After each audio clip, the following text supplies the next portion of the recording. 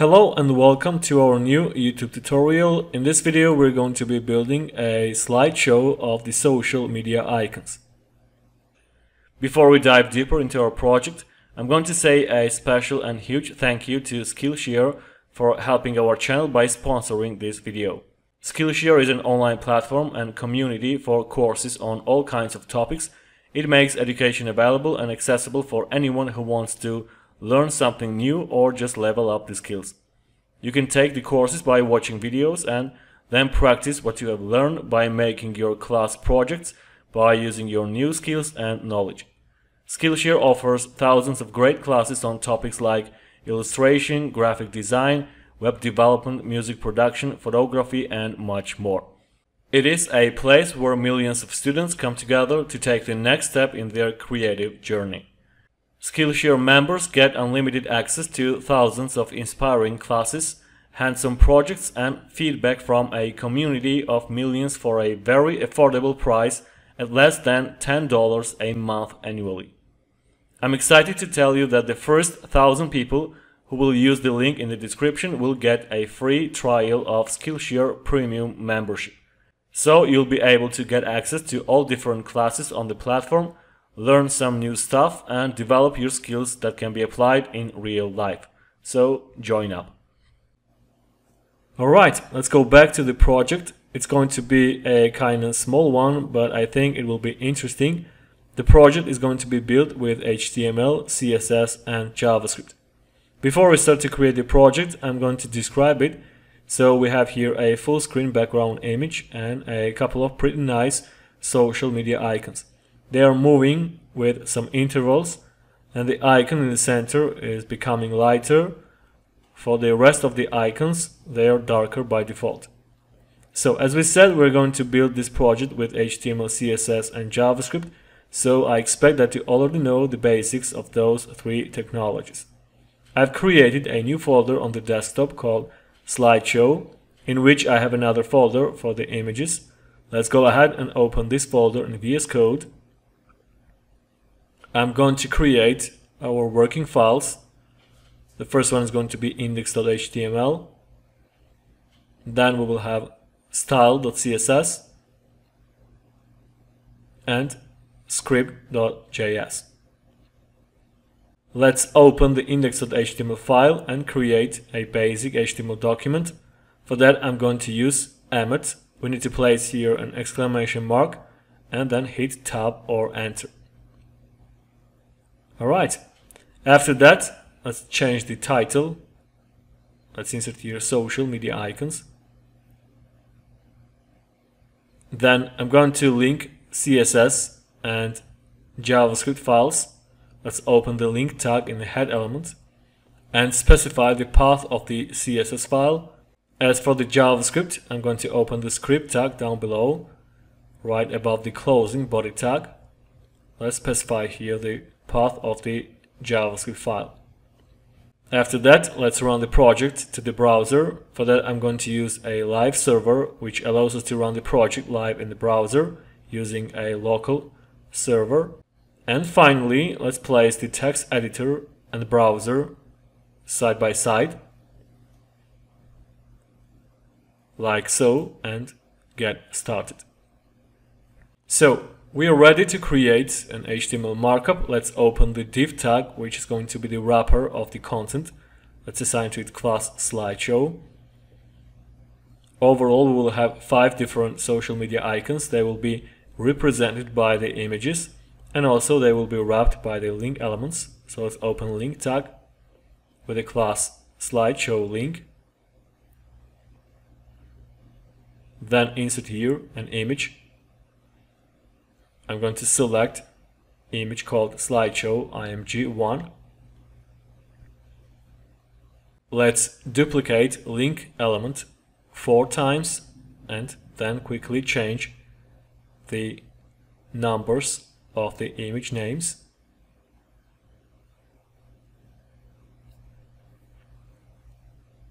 Okay so that's it about the HTML markup. Everything is prepared. And now we can write some CSS First of all, I'm going to customize and align the icons and after that we will make the slideshow work using JavaScript. At first, let's create some common and reset styles. Let's select all the elements using an asterisk. First of all, I'm going to get rid of default margin and padding from every element. So let's set both of them to zero. Also, we need box sizing, border box. And I'm going to get rid of default styles from the links. Let's use text decoration none. So throughout this project, I'm going to use rem as the measurement unit. By default, one rem equals to 16 pixels because the font size of the HTML element is equal to 16 pixels. I'm going to convert one rem into 10 pixels and for that I'm going to decrease the font size of the HTML element. Let's make it 62.5%. Okay, so that's it about the common styles. Let's select the wrapper div element. First of all, I'm going to define width and height. Let's make width 100%. As for the height, I'm going to set it to 100% of the viewport. Next, I'm going to set the image as the full screen background. But before that, let's use function called radial gradient. Radial gradient function sets the color transition from the center. So I'm going to specify here two different colors. The first one is going to be 48 three times and the opacity 0.95 as for the second color, I'm going to insert here black color with the opacity 0.95. After that, let's define the URL. I'm going to select image called bg.png. Also, we need here center as the position and no repeat. Lastly, let's define the size of the background. Let's make it cover. So as you can see, we have here a full screen background image. Next, I'm going to place the icon side by side. For that, let's use Flexbox. We need display flex. And after that, let's align icons in the center vertically. Use align items, center. Also, let's create some space on the left and right sides using padding. I'm going to set it to 0 and then 2 rem. Alright, that's it about the wrapper. Let's take care of the icons. I'm going to decrease their size. Let's select at first slideshow link and make its width 20%. After that, we have to define the width of the image itself. So let's select img element and set width to 100%. So in this case, the image will take up 100% of the width of the parent element. Alright, that's it about the CSS for now. We have to make the slideshow work using JavaScript. So let's open the script.js file. First of all, I'm going to select the wrapper div element. I'm in the slideshow. Let's create new variable and call it slideshow. Then select the element using query selector method. We have to specify here the class name, slideshow.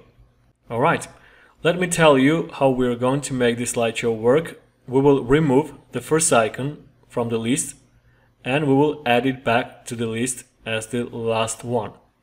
We will do that with some intervals and also with some smooth transitions. That's all about the process of the slideshow. So as we said, we need some intervals, and for that I'm going to use one of the built-in methods called setInterval. It takes two arguments. The first one is a callback function, which is executed after each interval. As for the second argument, it's going to be the amount of the interval itself. We're going to change the images after 3 seconds, so I'm going to pass here 3000. It is 3000 milliseconds, which is equal to 3 seconds. Okay, so as we said, we have to remove the first icon and then add it to the list as the last one. So first of all, let's select the first icon. I'm going to create new variable. Let's call it first icon. I'm going to select first icon using one of the properties called first element child. I mean, it's going to be the child of the slideshow.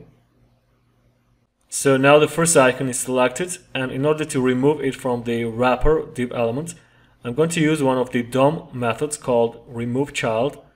So we need slideshow, then remove child, and as the argument we have to pass here first icon. So as you can see after every 3 seconds the icons are removing as we said, we have to add them back to the list and for that I'm going to use another DOM method called append child. By default it adds an element as the last child. So we need slideshow followed by the append child method and as the argument we have to pass here again first icon. Okay, so as you can see the slideshow already works but we need to add to it a couple of different effects. The first thing that I'm going to do is to remove the first icon smoothly with a fade effect. In order to do that, I'm going to create a new class in CSS. Let's call it faded out. So this class will include two styles. In order to fade the element out, we need to make the opacity and the width, both of them, zero. So let's set opacity and width to 0. And besides that, we have to use transition for the first icon. In order to select first icon, I'm going to use nth child selector. We need to specify here 1. And then let's insert here transition width with the duration 0.5 second and opacity with the same duration. Okay, that's it about the CSS. Let's go back to the JavaScript file. Now we need to add class faded out to the first icon. So we need here first icon followed by the property called class list which gives us all the classes of the element. Then we need to use method called add and we have to specify here class name faded out. So now the icon is removing, but without any fade effect because transition effect needs some time, actually half of the second. So we need to wait for half of the second before we remove the element from the list. In order to do that, I'm going to use one of the methods called set timeout. It allows us to execute the function once with some delay time.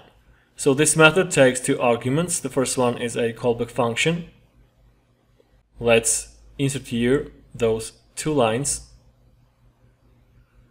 As for the second argument, it's going to be a delay time. In this case, we need half of the second. I mean 500 milliseconds.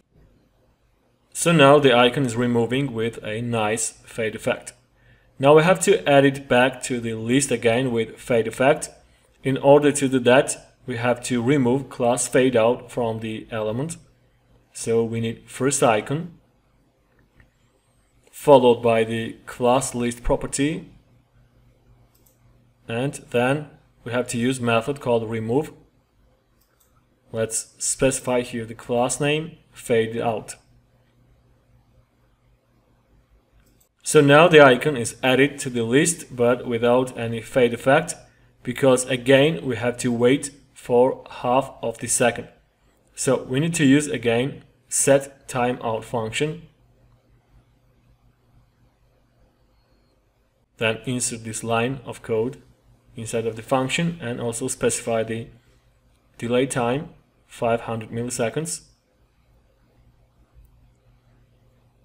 So now still we don't have here the fade effect because we need to define the transition for the last icon.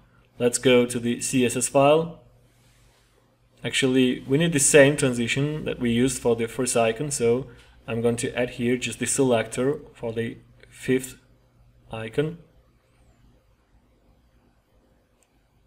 So right now everything works fine and we can move on and take care of the second effect.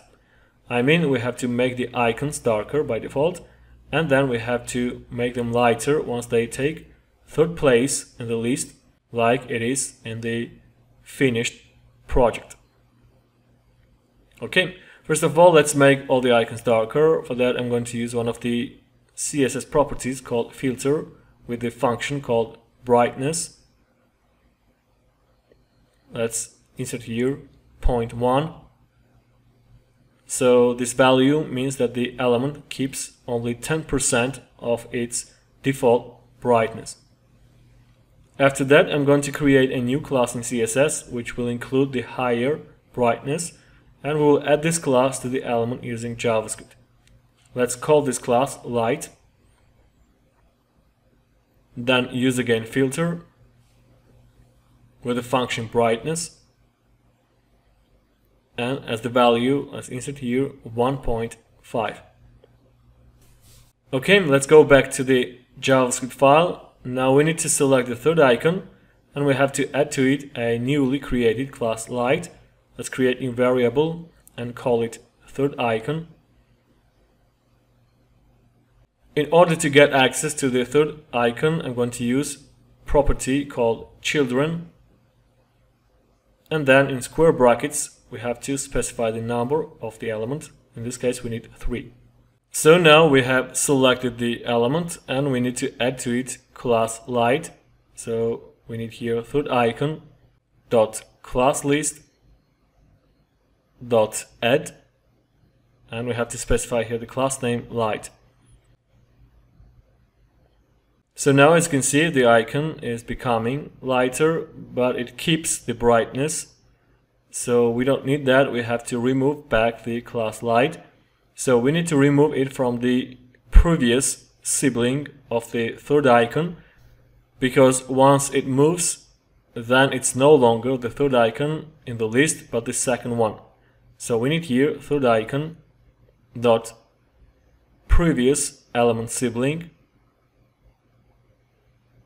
followed by the class list property then we need method called remove and again class light. Okay, so now everything works fine. We just need to add a transition to this effect. Let's go to the CSS file and select the third icon.